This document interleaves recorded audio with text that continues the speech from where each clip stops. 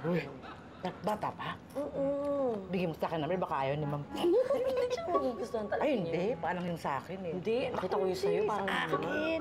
Oy, ano ka? Hoy, ano yung pinagchichismisan niyo? Ay, hindi kasi pinag-uusapan namin ni Ate Baby kung sino talaga yung magugustuhan ni Ma'am Maricar sa mga nirereto namin sa kanya. Correct. Alam nyo, syempre yung manok ko. Bagay na bagay yata sila ni Mama Ricar. Hoy, hindi yata tumitingin sa itsura si Mama Ricar, ano? Kaya alam ko, sigurado ako, magugustuhan niya yung manok ko. Ay, nako, pwede ba, no? Na, yung nireto ko, hindi manok, kaya yon ang pipiliin niya. Hops, hops. Sandali. Gusto nyo, pustahan na lang. oh. Kung sino magustuhan ni Mama Ricar. Ano? Ay, naku, game ako dyan. Game, Sige, game. sali din ako. Sasali ako dyan. Okay, game din ako. Game din ako dyan. Ha? Kasali ka? Hindi ko naman nireto kay Mama Ricar ah. Eh, yun lang pusta ko. Ano ba kayo? Si Maricar, napakapihikan yan. Sigurado ko, yung mga nagustuhan nyo, wala yan. Walang binatbat yan. Wala. Hmm. Ito talaga kumakakontra. At makikisali pa sa pustahan natin. ah. Oo nga, Oo, diba? oo, oo. Bakit? May pera ka ba? Oo nga. Ano, baby? Ayan eh. Oo. Magkano ba pusta natin? Ha?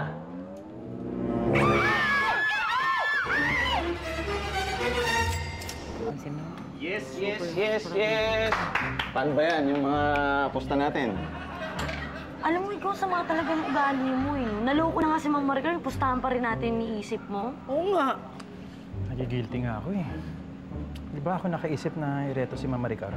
Naku, hindi mo naman yung kasalanan. Gusto mo lang kasing makatulong. Mm Tama na yung drama nyo, magbayad na kayo. Akin na, akin na, akin na. Bayad, bayad. Baka magkalimutan pa tayo eh. Walang Ayun na, kaya. isasako sa bago. Ay, nako. Huwag kayong nagagalit Ayan, sa oh. ganyan. Oh, ayan na. Oh, ayan na. Oh, oh, oh, ayan na. Oh, oh, yan, oh. Alam nyo, napansin ko lang, hindi naman kayo nalulungkot dahil sa nangyari kay Maricar. Nalulungkot kayo dahil natalo kayo sa pustahan. Uy, Diba? hindi ah. Hindi, no? Ikaw. Naku, ikaw talaga, na- nangaasar ka pa. Nanalo ka na nga eh. Kaya nga. Alam mo, hindi ko talaga maintindihan kung bakit naging kaibigan ka ni Sir Pipito eh. Alam mo, Robert, hindi kasi ako peke. Hindi katulad ng ibang kaibigan mo dyan. Ah, siya, siya, siya. Para hindi kayo malungkot, ililibre ko na lang kayo. Ay, sige. Ha? Ay, sige. Anong gusto nyo, ha? Naman Oh, pala. mabait ako. Nice. Fishball, ah, taho, banana cue. Chip naman. Ano nga yung namin yan? Gusto namin, bihira lang namin natitikman. Yan, yan. Ah, cake! Yan, gusto Ayun, namin, sarap di ba? yun! Chocolate cake. Ayun. Ayun! Chocolate, chocolate Yan. cake! Sige, si Patrick. chocolate cake. O, saan ka pupunta? Bukas! Oh my gosh, Efren. Ilang beses mo nang inulit itong report na to. Hanggang ngayon, hindi pa rin maayos. Ano ka, ano ka ba? Ma'am, pero sinunod ko lang naman po lahat ng sinabi niyo. Asa lang ibig mo sabihin ako may problema? I'm sorry, ma'am. Hindi po yun ang ibig kong sabihin. Tsaka po kung hindi na po kayo satisfied sa trabaho ko, kung gusto niyo, magre-resign na lang po ako. Sandali, sandali. Sorry. Medyo mainit lang kasi yung ulo ko eh. Sorry. sorry. Eh, Fred, kita mo ha, medyo lang yan ha, medyo ha. Isipin mo lang pare kung talagang mainit ang ulo niya. Sige, sige, sige. Ito lang sa desk mo. Hirap kasi ah, kausapin yung tumatandang dalaga. Wala naman nakakatawa. Pwede ba tumigil ka na, Tommy? Eh, Huwag ka nang dumagdag sa init ng ulo ko, ha? Don't get me wrong, Maricara, but you know, at, at this point in your life, you, you cannot be choosy. Sir Tommy. Ah, Sir Tommy, ah, may naghahanap po sa inyo sa labas eh. Sino? Ah, kadate nyo raw po. Ah, Donna po. Donna po yung pangalan. Ah. O, sige. Ah, ito ah, na po pala, sir. oh. Ano po? Hi, Tommy baby. Are you ready? Ah, yes. Nice to see you.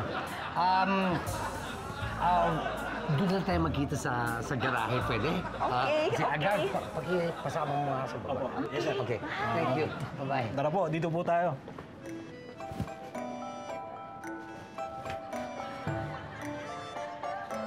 What? Hey, at least I have a date. Talaga lang, ha? Hindi mo ba napansin na expired na yung date mo?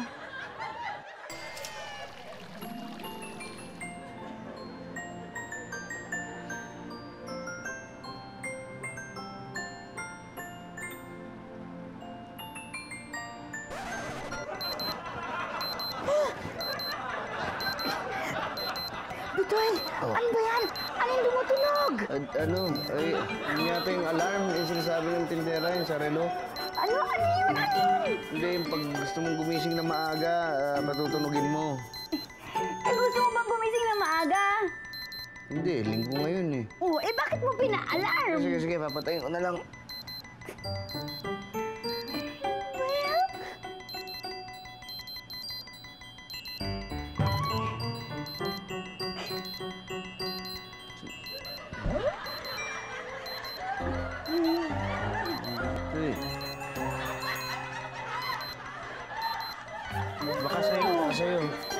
Nga dyan, baka hindi.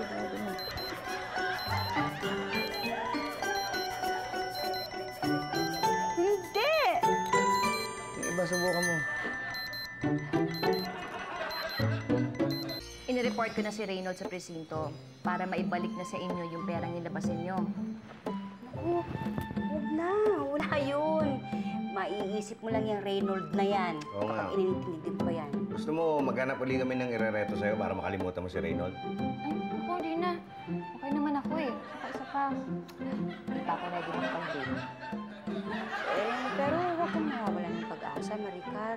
Sigurado akong darating din yung para sa'yo. Sana nga. Pero habang wala pa, edi enjoyin ko muna yung pagiging single ko, di ba? Oo. Tsaka, alam mo, kalimutan mo na yung Reynold na yan. Pag dumating yung tamang lalaki para sa'yo, mararamdaman mo yun eh. Parang yung napag-aralan ko sa pagmamaneho, makakakita ka ng mga sign. Mm. Talaga? Mm. Tingin mo makikita ko yung mga signs na yun? Oo naman. Oo. Sana nga. Aantayin ko yung mga signs na yan. O paano? Mauna na ako sa inyo ha. Pasensya na sa mga nangyari ha. Uy, wala yun. Ingat ka, ha? Bye-bye. Sige.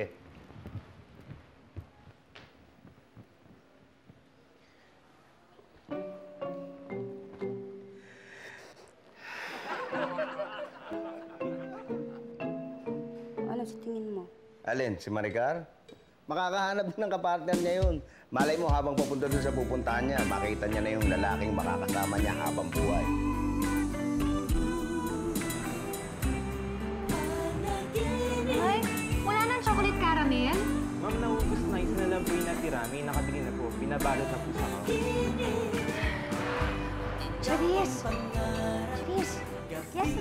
Wala na talagang chocolate caramel. Alam mo namang favorite ko yun eh. Naku, ma'am, pasensya na. Wala na po talaga eh.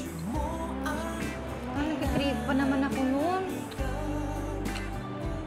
Ay, eh, eh, sandali lang. Yan na ba yung huling ano? Pero may kukuha na eh, no? Gusto mo sa'yo na lang. Pag dumating yung tamang lalaki para sa'yo, mararamdaman mo yun eh. Parang yun na pag-aralan ko sa pagmamaneho, makakakita ka ng mga sign.